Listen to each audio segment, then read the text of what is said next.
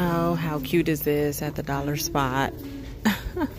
it's a diamond ring wireless speaker for five. I love that. Look at this armrest organizer that goes in your car. So it goes in between the seats so you have spots to put your stuff. And there's also a back seat organizer. Here's another armrest organizer. It goes into your cup holder. They still have these right here in the peach purple and there's clear back there. Here's a glass tumbler with a straw on the sleeve and this is five. Then how cute is this bug catcher kit for five?